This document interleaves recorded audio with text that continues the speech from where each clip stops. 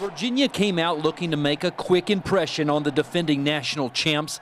Mike Rocco did just that on a 27 yard strike to Kris Burd on their second possession. The safety kind of bit down on uh, an inside route, and Kris came up behind him. And uh, I mean, it, it, worked in practice a bunch of times, and we had faith that it was going to work in the game. Rocco again found Burd in the end zone in the second quarter. The former LCA quarterback had an impressive bowl debut with 312 yards passing and the two scores. For a first bowl game, you wouldn't have known that it was any different than practice, and that's, that's a little bit of, of what categorizes Mike, is, is he comes out poised. But the problem for the Hoos came on special teams. Auburn turns two blocked punts into a touchdown and a safety, and kicker Cody Parkey recovered his own surprise onside kick. They got the ball, and uh, we didn't make a play on it.